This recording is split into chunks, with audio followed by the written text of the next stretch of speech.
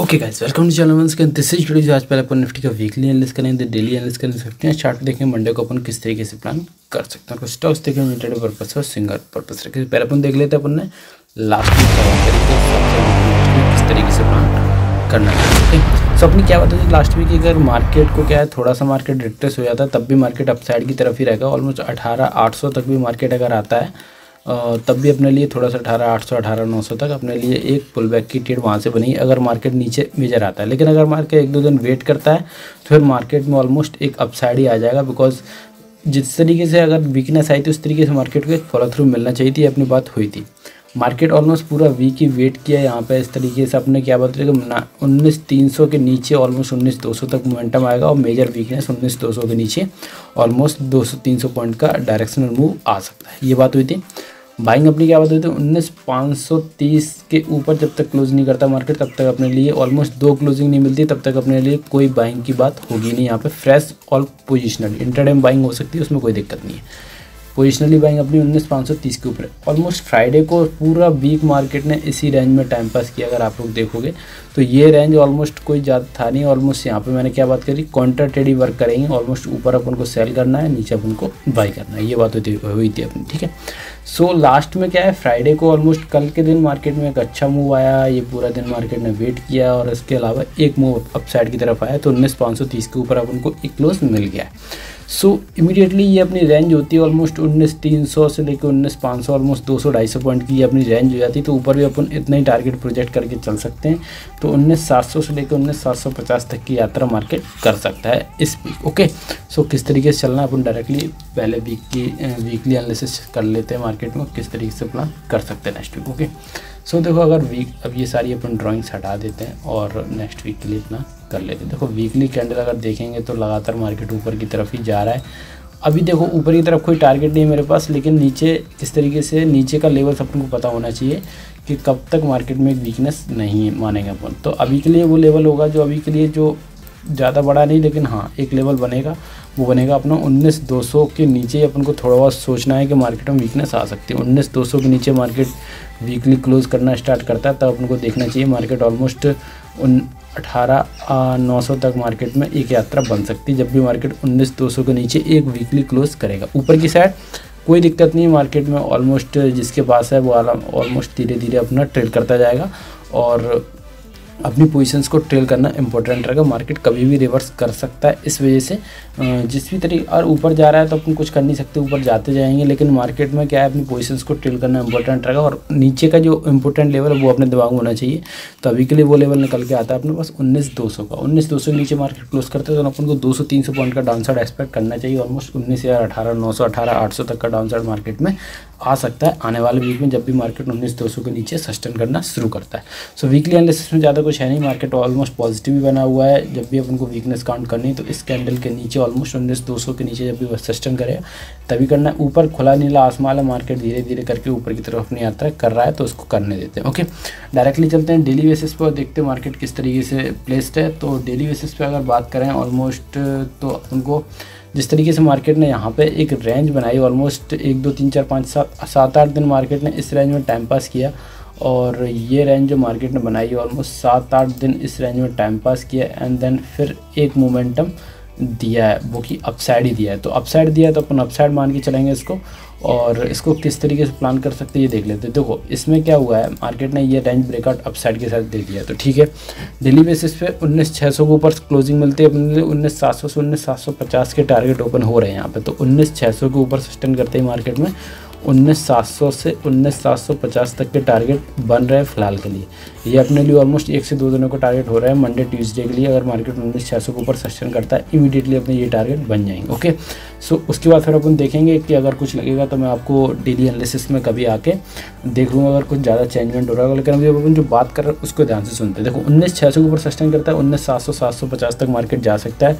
वहाँ पर अगर कोई रिजेक्शन बनता है मार्केट में तो वहाँ से अपन थोड़ा सा वीकनेस का प्लान कर सकते हैं। For the target of almost उन्नीस, पाँच सौ तक के टारगेट पहले बनाएँगे उसके बाद अपनी पोजीशंस को ट्रेड करेंगे ऊपर नीचे के साइड लेकिन ठीक है, उन्नीस सात सौ पचास, उन्नीस आठ सौ के आसपास मार्केट रेजिस्टेंस फेस कर सकता है तो उस बात का अपन को ध्यान रखना है ओके सो यहाँ से मार्केट ऊपर निकलता है तो पहला टारगेट जो अपने दिमाग में आ रहा है, वो उन्नीस सात सौ से लेकर उन्नीस सात सौ पचास का almost hundred to one fifty points का अपसाइड अभी भी दिख रहा है मार्केट बिकॉज़ ये रेंज दो सौ से सवा दो सौ पॉइंट की है, इसमें ऑलमोस्ट साठ सत्तर पॉइंट निकल गए हैं। तो अभी भी ऑलमोस्ट उन्नीस पाँच सौ पंचानवे के आसपास मार्केट जा चुका है एक बार तो उन्नीस छः सौ के ऊपर निकलते उन्नीस सात सौ सात सौ पचास तक के टारगेट मिल सकते ओके वीकनेस अपन को कहाँ से काउंट करनी है? तो वीकनेस के लिए भी अपन वेट करेंगे। जब भी मार्केट इसके नीचे आएगा तो उन्नीस तीन सौ के नीचे आएगा तो हमको एक हंड्रेड पॉइंट का डाउन साइड मिलेगा ऑन अ डेली बेसिस उन्नीस तीन सौ के नीचे उन्नीस दो सौ और उन्नीस दो सौ के नीचे डेली क्लोजिंग करने के बाद ही मार्केट में ऑलमोस्ट उन्नीस हज़ार सत्तर से लेके उन्नीस हज़ार तक के टारगेट अपन को देखने को मिलेंगे ओके तो किस तरीके से रखेंगे अपन? उन्नीस तीन सौ के नीचे मार्केट ऑलमोस्ट क्लोज करेगा दैन उन्नीस दो सौ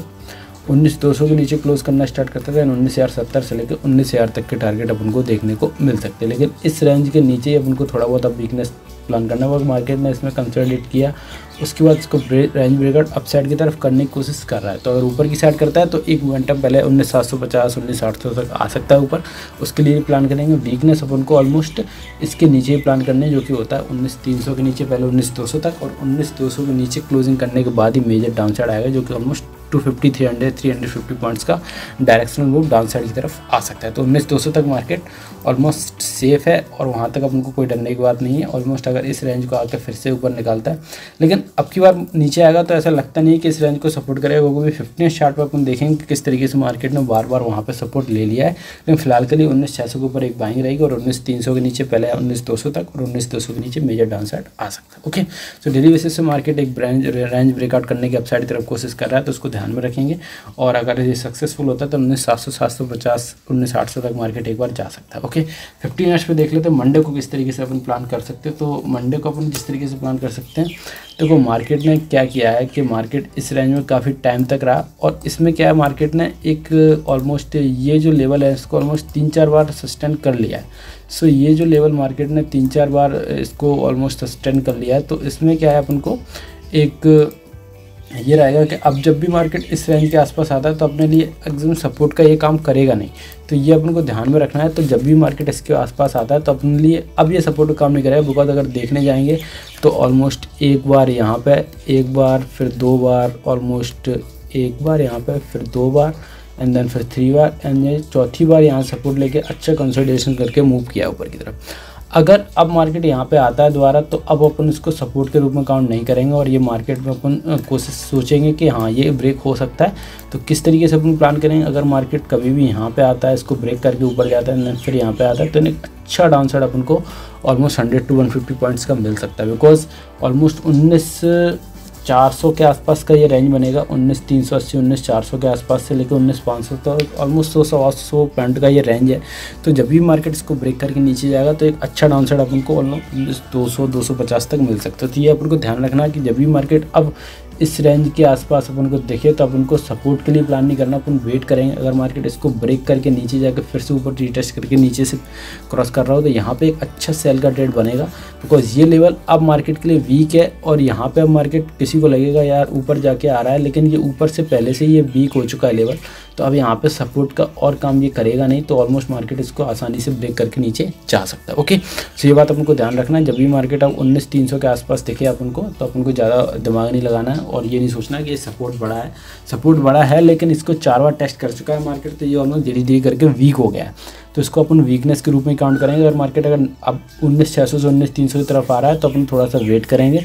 मार्केट इसको ब्रेक करेगा देन अपन एक इसमें ट्रेड में बैठ सकते हैं, जो कि डाउन साइड के लिए एक मूव आ सकता है ओके लेकिन अभी किस तरीके से प्लान करना है मंडे के लिए वो देख लेते देखो मार्केट अगर फ्लैट खुलता है तो अपने लिए एक बाइंग की ट्रेड बनेगी। अगर मार्केट उन्नीस छः सौ के ऊपर सस्टेन करता है, उन्नीस छः सौ के ऊपर एक फाइव मिनट कैंडल क्लोज करता है देन पंद्रह से बीस पॉइंट का एस पंद्रह से बीट पॉइंट का एस और वन डी सी टू का टारगेट पहले बनाए, उसके बाद ट्रेल करेंगे position for the target of one D C three because खुला नीला आसमान है पंद्रह बीस पॉइंट का एस डालेंगे अपन अगर ऑलमोस्ट वन डी टू के टारगेट पहले प्लान करेंगे, उसके बाद अपन ऑलमोस्ट अपनी पोजिशन को ट्रिल करते रहेंगे हर दस पॉइंट के बाद ओके सो इस तरीके से अपन प्लान कर सकते हैं फॉर द अपसाइड के लिए। उन्नीस छः सौ के ऊपर अगर सस्टेन करता है मार्केट पाँच मिनट देन ओके अगर मान लो मार्केट गैप अप खुल जाता है ऑलमोस्ट उन्नीस सात सौ के सात सौ सात सौ बीस के आसपास की गैप अप खुल जाता है देन अपन को वेट करना पड़ेगा बिकॉज़ अपन को थोड़ा सा मार्केट कोई रेंज बनाए फाइव मिनट्स चार्ट पे ऑलमोस्ट दो तीन चार कैंडल बनाए इस तरीके से एंड देन फिर उसको जिस भी साइड ब्रेक करेगा, उसमें एक डाउन साइड के अप साइड का मोमेंटम आ सकता है। अगर डाउन साइड का मोमेंटम आएगा तो वो टारगेट अपने ज़्यादा बड़े नहीं रखेंगे, उन्नीस छः सौ तक के रखेंगे, उन्नीस छः सौ तक मार्केट एक बार आके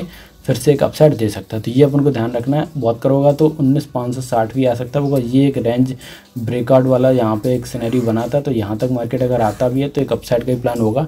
लेकिन वहाँ से अपन को देखना पड़ेगा, अगर फाइव मिनट चार्ट पे कोई एक रेंज बना के अगर डाउन साइड आता है तो अपन को एक ऑलमोस्ट सिक्सटी एट्टी पॉइंट्स का डाउन साइड मिल सकता है ओके तो ये अपन को देखना पड़ेगा, अगर market almost eighty to hundred points का गैप अप हो रहा है देन अपन को वहाँ से एक रेंज बनाना चाहिए मार्केट फाइव मिनट्स चार्ट पे एक कोई रेंज बनाता है, उसका ब्रेकआउट अपसाइड करता है तो एक अपसाइड की ट्रेड बना लेंगे, दस से पंद्रह पॉइंट का असर डाल के। डाउन साइड बनाता है तो डाउन साइड की ट्रेड बना लेंगे, दस से पंद्रह पॉइंट का एसेट डाल के ओके अगर मार्केट गैप अप होता है तो। बिकॉज़ गैप अप केस में अपने टारगेट्स निकल चुके हैं hundred to one twenty one fifty points के तो फिर मार्केट क्या है? अगर मान लो 80 पॉइंट्स का गैप हो जाता है, अपन एक वन एक सौ तीस, एक सौ चालीस पॉइंट देख रहे हैं तो अपने हाथ से निकल चुके हैं अस्सी पॉइंट उसके बाद अपने सत्तर, साठ, सत्तर पॉइंट होता है तो मार्केट क्या करता है? जैसे मार्केट को मान लो यहाँ पे देने थे पॉइंट्स तो लेकिन उसने क्या किया? उसको, उसने पूरे दिन टाइम पास किया यहाँ पे ओके और लास्ट के दो कैंडल इसमें दे दिया टारगेट तो तो अपन को वो चीज़ पता नहीं है ना तो अपन का फिर एक रेंज ब्रेक रेंज बनने का वेट करेंगे, उसका फिर जिस तरीके से एक ब्रेकआउट या ब्रेकडाउन होगा तभी अपन ट्रेड में प्लान करेंगे और रेंज का ब्रेकआउट होने देना। बिकॉज़ अगर आप इस चार्ट को देखेंगे तो बहुत ही सिंपल चार्ट लग रहा होगा, आपको लग रहा है कुछ नहीं हुआ इसमें। लेकिन अगर आप लोगों ने ट्रेड किया है तो आपको पता होगा यहाँ पर अगर कोई भी बीस बीस पॉइंट का भी असर डालेगा ना तो इस कैंडल पहले मार्केट नीचे आया। तो उसने अगर इस कैंडल के ब्रेक होने पर अगर ट्रेड ले ली होगी ना एच फिफ्टीन कैंडल है ऑलमोस्ट रेड कैंडल है टाइप का दिख रहा है तो उसने ब्रेक तो उस मार्केट उस कैंडल पर नीचे आया।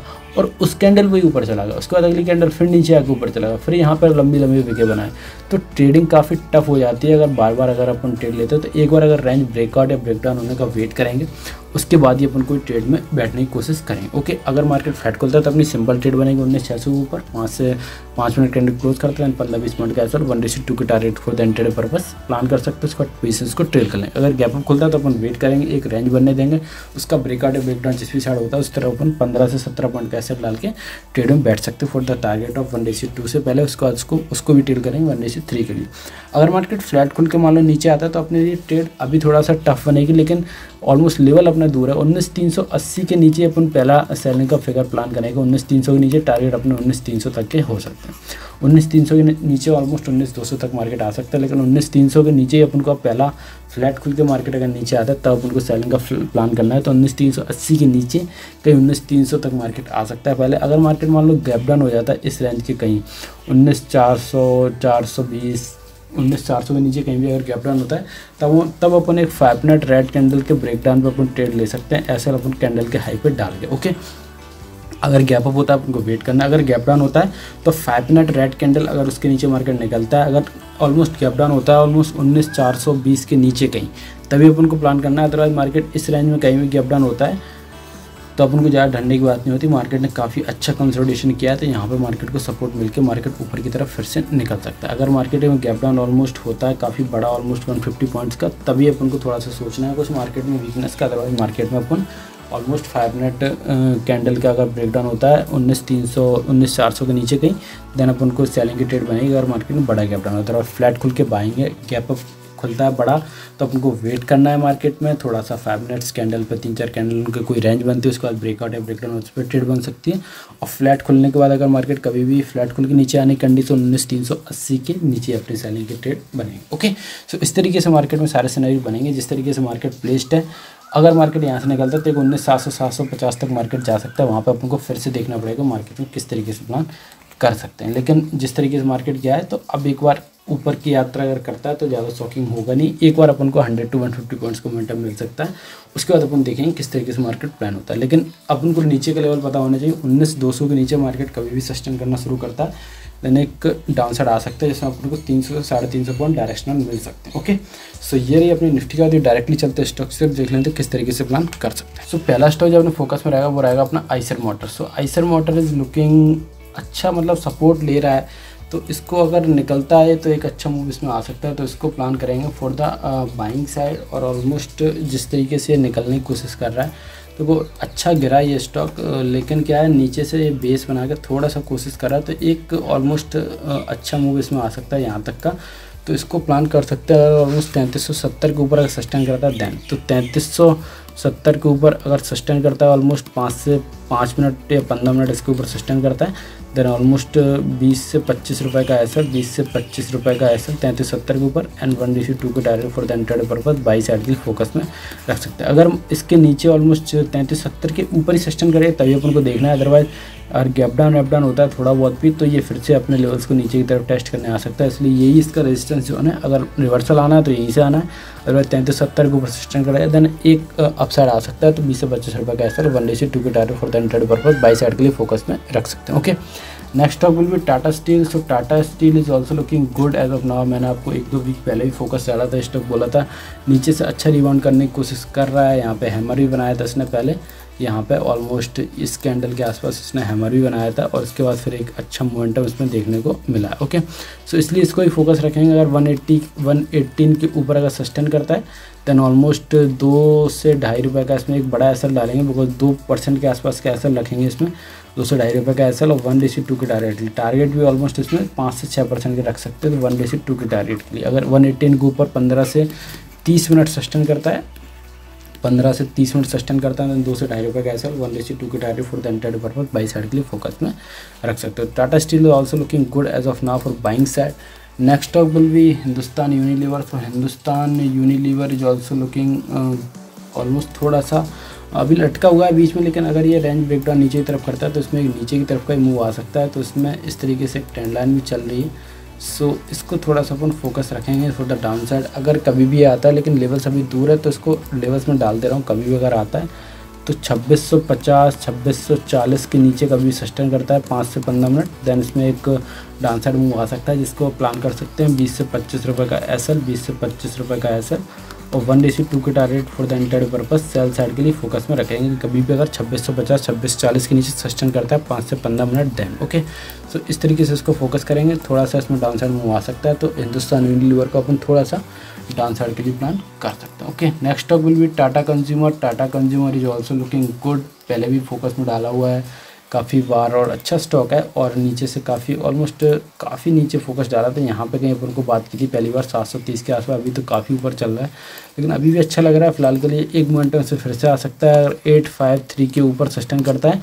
Then almost seven to eight rupees का एस एल सात से आठ रुपये का एस एल और वन डी सी टू के टारगेट के लिए for the intraday purpose buy side के लिए फोकस में रखेंगे, ये स्टॉक अच्छा लग रहा है। अगर यहाँ से ऑलमोस्ट नीचे आया, फिर ऊपर गया, फिर नीचे आया, फिर ऊपर गया तो एक डब्ल्यू पैटर्न दिख रहा है। तो अगर एट फाइव थ्री के ऊपर सस्टेन करता है दैन सात से आठ रुपये का ऐसा वन जी वन डी सी टू के target for the enter purpose buy side के लिए फोकस में रख सकते हैं। Next stock will be Titan side Titan is looking थोड़ा सा अगर चाहे तो मार्केट वीक होता है तो ये स्टॉक में फोकस में नीचे की तरफ़ थोड़ा सा पुल हो सकता है। ज़्यादा डाउन साइड तो नहीं दिख रहा, लेकिन हाँ थोड़ा बहुत पुल आ सकता है इसमें। तो अगर तीन हज़ार तीस के नीचे कभी भी, तीन हज़ार तीस के नीचे कभी सस्टेन करता है, तीन हज़ार तीस के नीचे देन ऑलमोस्ट अठारह से बीस रुपये का S L eighteen to twenty rupees S L और वन डी टू के टारगेट के लिए for the inter purpose sell side के लिए फोकस में रखेंगे। अगर ये टाइटन कभी भी तीन हज़ार तीस के नीचे सस्टेन करता है फाइव मिनट टेन अठारह से बीस रुपये का S L one D two के target for the inter purpose sell side के लिए फोकस में रख सकते हैं ना कि next stock will be L T tech एक अच्छा थोड़ा सा बाइंग की तरफ़ जा रहा है तो ये स्टॉक भी अपने फोकस में रह सकता है तो ये थोड़ा सा अपने लिए बाइंग की साइड ही रहेगा, लेकिन जिस तरीके से देखो, काफ़ी लंबा रेंज बनाया इसने। ऑलमोस्ट अगर आपको मैं यहाँ पे दिखाऊँ तो ऑलमोस्ट देखने जाएँगे तो ये देखो, कितना लंबा इसका कंसल्टेशन पीरियड था। उसके बाद इसने एक अच्छा मूव दिया फ्राइडे को तो ये एक स्टॉक हो सकता है जो आप लोगों के फोकस में रहना चाहिए। ऑलमोस्ट फोर इकतालीस सौ लेके इकतालीस सौ दस के ऊपर अगर पंद्रह मिनट सस्टेन करता है, इकतालीस सौ दस के ऊपर अगर पंद्रह मिनट सस्टेन करता है देन ऑलमोस्ट इसमें एसएल डालेंगे तीस से पैंतीस रुपये का एस तीस से पैंतीस रुपये का एस और पहले टारगेट इसमें वन डी टू के हो गए उसके बाद इसको पोजीशन को ट्रेल कर सकते हैं। ओके सो इकतालीस सौ दस के ऊपर सस्टेन करता है, पंद्रह मिनट तीन से तीस से पैंतीस रुपये का एसल वन डी टू के target for the enter buy side के लिए फोकस में रखेंगे। अदरवाइज़ उसके बाद फिर अपन इसकी पोजीशन को टेल करके और वो और भी बड़े टारगेट के लिए प्लान कर सकते हैं। तो इकतालीस सौ दस के ऊपर तीस से पैंतीस रुपये का सर वन से टू के target for the enter purpose buy side के लिए फोकस में रख सकते हैं। L T is looking good अच्छा रेंज ब्रेकआउट दिया है एक मोमेंटम और आ सकता है। इकतालीस सौ दस के ऊपर सस्टेन करता है। दैन ओके नेक्स्ट स्टॉक बोली Manappuram so Manappuram is also looking like कि हाँ ये स्टॉक भी अच्छा लग रहा है तो इसको भी फोकस रखेंगे। और वन टू नाइन के ऊपर ही अगर ये निकलता है तो एक फोकस रख सकते हैं। अपने पुराने लेवल्स को फिर से ऊपर की साइड टेस्ट कर सकते हैं। एक सौ उनतीस के ऊपर, अगर ये पंद्रह मिनट सस्टेन करता है, एक सौ उनतीस के ऊपर पंद्रह से तीस मिनट सस्टेन करता है देन ऑलमोस्ट दो से ढाई रुपये का एस एल दो से ढाई रुपये का एस एल और वन डी सी टू के टारगेट के लिए फॉर द एंटर से लेके एक से दो दिनों का व्यू बना के बाई साइड के लिए फोकस में रख सकते हैं। क्योंकि अगर यहाँ से निकलता है तो एक एक मोमेंटम आ सकता है, एक सौ तैंतीस चौंतीस तक। तो एक सौ उनतीस के ऊपर पंद्रह मिनट सस्टेन करता है दो से ढाई रुपये का S L one D C two के टारगेट फॉर द एंटर से लेके एक से दो दिनों का व्यू बना के बाई साइड के लिए फोकस में रख सकते हैं। ओके नेक्स्ट और लास्ट विल परसिस्टेंट तो persistent is also looking good और ये स्टॉक भी अपने फोकस में रह सकता है। तो ये जिस तरीके से आईटी ने मूव किया है तो ये स्टॉक भी अच्छा लग रहा है। लेकिन अभी के लिए क्या थोड़ा सा वीक बना हुआ था अभी तक। तो अगर ये मूव करता है, देखो यहाँ पे इसने ब्रेक डाउन दिया गैप गैप डाउन खुल के। उसके बाद फिर ऑलमोस्ट धीरे धीरे नीचे आया, लेकिन मोमेंटम काफ़ी स्ट्रॉन्ग दिया है दो दिन में। तो एक मोमेंटम इसमें अपसाइड की तरफ़ आ सकता है। तो किस तरीके से प्लान करेंगे? उनचास सौ चालीस, उनचास सौ पचास के ऊपर ही फोकस में डालेंगे उनचास चालीस, उनचास पचास के ऊपर पंद्रह मिनट सस्टेन करता है। देन एक फोकस में डाल सकते हैं और एसएल जो कि इसमें डालेंगे तो तीस से पैंतीस रुपये का एसएल डालेंगे इसमें। तीस से पैंतीस रुपये का एसएल और वन डे से टू के टारगेट के लिए for the entire purpose buy side के लिए फोकस में रख सकते हैं। तो परसिस्टेंट इज़ लुकिंग गुड उनचास सौ चालीस, उनचास के ऊपर मिनट सस्टेंट करता है, तीन से तीस से पैंतीस रुपये का ऐसा और वन डे से टू के टारगेट के लिए पहले, उसके बाद इसको ट्रेल कर लेंगे और टारगेट ऑलमोस्ट वन डे से टू के पहले बनाएँगे और एंटायर पर्पज के लिए बाई साइड के लिए फोकस रख सकते हैं। तो persistent is also looking good for अब फोर नाइन फोर ज़ीरो से लेकर फोर नाइन फाइव ज़ीरो के ऊपर सस्टेन करता है ten okay so this is it for today जहाँ पर निफ्टी इज़ लुकिंग अभी के लिए एक रेंज ब्रेकआउट अपसाइड तरफ़ कर रहा है तो वहाँ से ऑलमोस्ट डेढ़ सौ, दो सौ पॉइंट और मिल सकते हैं अपन को, उन्नीस, सात सौ सात सौ पचास, उन्नीस, आठ सौ तक मार्केट फिर से जा सकता है। उसके बाद अपन को फिर से देखना पड़ेगा जिस तरीके से मार्केट में प्राइस एक्शन बनाएगा then okay so that's it today का वीडियो अच्छा लगा वीडियो को लाइक कर चैनल पर चैनल सब्सक्राइब कर मिलते हैं जब तक के लिए बाय सी